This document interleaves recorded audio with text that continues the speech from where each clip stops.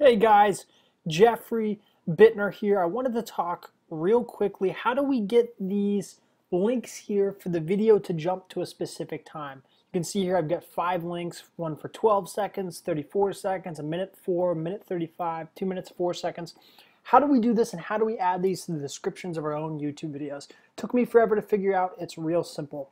All right, all we do is we go to the description and we do, we add the time in time format.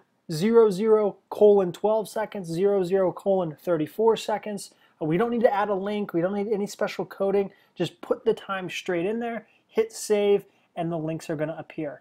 Uh, if we go up here to the video, right now I'm at 9 seconds. If I click on a minute 4, we jump to a minute 4. Genius.